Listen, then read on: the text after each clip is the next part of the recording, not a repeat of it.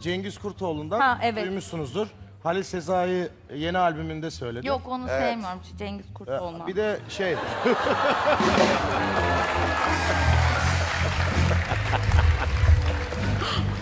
bu kadar samimi, bu kadar. ama Değil ama açık söyle. şöyle şöyle bir durum var. Şöyle bir durum var. Mesela ben Halil'den daha çok keyif alıyorum.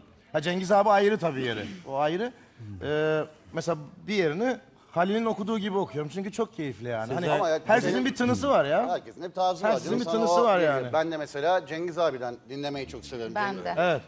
Ee, Cengiz abiye de buradan Aa, ben bir pot kırdım. Cengiz abiye değil de ben Ümit abi yani Ümit abiyi çok severim.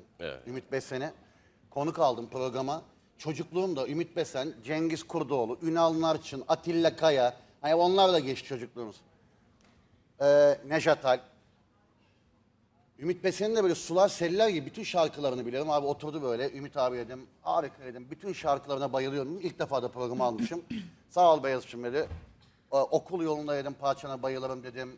Ondan sonra ee, tahta masaya bayılırım dedim. Arkadan dedim işte çakıl taşlarına bayılırım dedim. Ama dedim en sevdiğim, en sevdiğim liselim dedim. Ay şey Canım o Cengiz Kurdoğlu dedi. Sen Cengiz abiye parçayı ne zaman verdin ya? Feci, feci, feci diye. Beya- Beyaz abi. Estağfurullah abi. Abim, Abim. abim söyle. Aslında parçayı Sezgin Hoca yazdı. Ben e, bir konserimde davet ettim kendisini. E, ben ondan dinledim.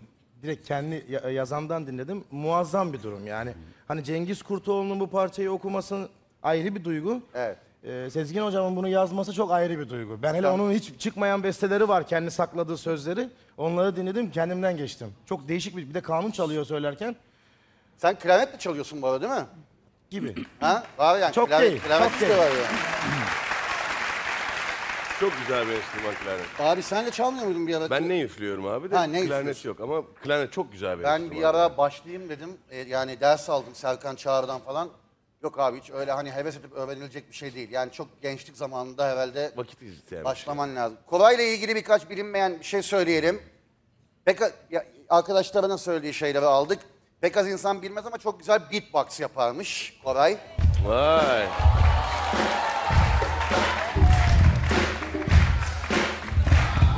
Yok abi alakası yok.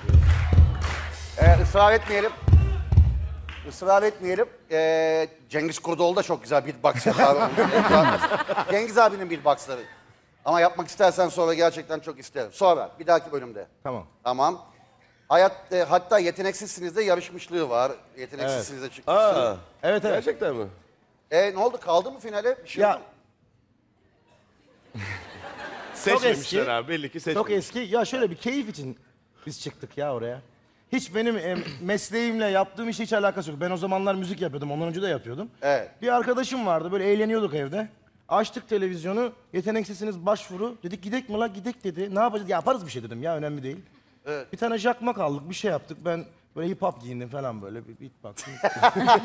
Orada ne yaptığımı bilmiyorum mesela bak. Hiç bil- ben hiçbir şey bilmiyorum ya. E, Vallahi. sen bir dönemi silmişsin abi. sildim sildim ya hafızamda yok.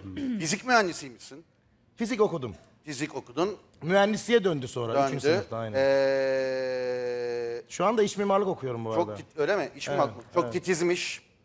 Ankara bebesiymiş. Ee, Ben de Ankara'lıyım. iyi bir duvar sanatçısıymış, ressammış aynı zamanda. Duvar boyuyorsun. Grafiti mi yapıyorsun? Evet. Aa süper çok. 10 12 yıldır çiziyorum. Vay be. Hala da çiziyorum. grafiti. Abi enteresan, evet güzel.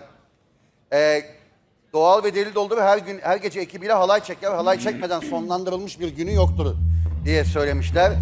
Her konuşulanı duyar ve görür. Keskin kulağı var.